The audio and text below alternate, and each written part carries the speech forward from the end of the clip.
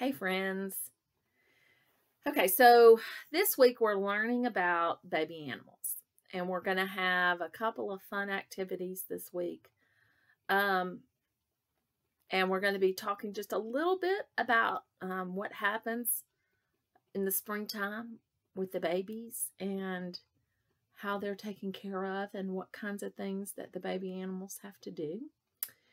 And so tonight, I thought we would reread a book that you guys have already read before called The Three Billy Goats Gruff um, because it has a character in it that is a baby animal, right? A billy goat. And hopefully, um, that'll be something that you guys can see when the barnyard comes on Tuesday to my house. So, the name of this story is called The Three Billy Goats Gruff. It is a fairy tale. And so that means that um, it is something that people have told for years and years and years. And this particular one is retold by Annette Smith. And this is published by Rigby. I love Rigby. Um, and it is illustrated by Pat Reynolds. I want to make sure I give everybody credit so I'm not infringing on any copyright. Once upon a time, there were three Billy Goats Gruff. There was a little Billy Goat Gruff, there was a middle-sized Billy Goat Gruff, and there was a great big Billy Goat Gruff.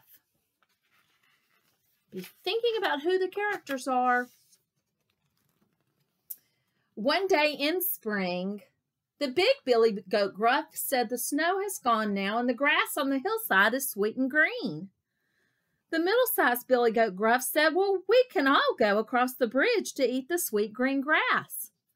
So think about what the setting is. Where is the story taking place? When is it happening? Where is it happening? The little Billy Goat Gruff came across the bridge first. Under that bridge lived a mean old troll. Who's that coming over my bridge? roared the troll. It's me, said the little Billy Goat Gruff. I'm going to eat the sweet green grass on the hill. And the Billy, the little Billy Goat Gruff, the sound it made was trip trap, trip trap, trip trap. Oh, no, you are not, roared the troll. I'm coming to gobble you up. no, no, said the little Billy Goat Gruff. Don't eat me. I'm too little. My big brother is coming soon. You can eat him. Very well. Be off with you then, roared the troll. Let me say that again. I need to sound like a troll. Very well. Be off with you then, roared the troll. So the little Billy Goat Gruff ran over the bridge. Soon, the middle-sized Billy Goat Gruff came across the bridge, came to the bridge. Trip trap, trip trap, trip trap. Who's that coming over my bridge? roared the troll. It's me, said the middle-sized Billy Goat Gruff. I'm going to eat the sweet green grass on the hill.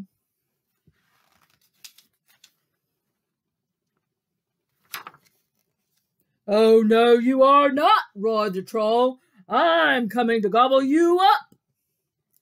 No, no, said the middle-sized Billy Goat Gruff. Don't eat me. I'm too little. My big brother is coming soon. You can eat him. Very well. Be off with you then, roared the troll. So the middle-sized Billy Goat Gruff ran over the bridge. Then the great big Billy Goat Gruff came to the bridge. Trip, trap, trip, trap, trip, trap. Who's that coming over my bridge? roared the troll. It's me, said the big Billy Goat Gruff. I'm coming to gobble. Oh, sorry. I'm coming to gobble you up, roared the troll. Oh, no, you are not, shouted the big, great big Billy Goat Gruff. Then the great big Billy Goat Gruff put his head down and he ran at the troll. He butted him with his horns.